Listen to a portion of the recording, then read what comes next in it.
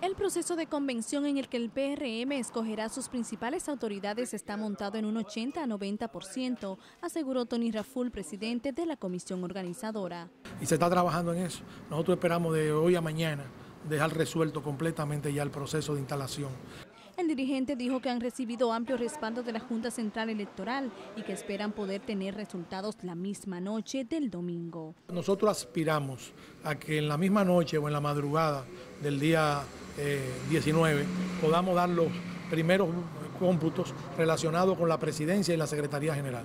Sobre quienes provoquen disturbios ese día hizo esta advertencia. El que incurra en eso será inmediatamente sometido a un tribunal disciplinario o expulsado sumariamente del PRM.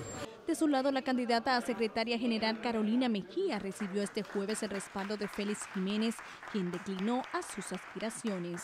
Yo le agradezco mucho eh, pues su apoyo y ya nos queda invitar a nuestra militancia a que el próximo domingo 18 pues participemos de manera organizada, de manera masiva.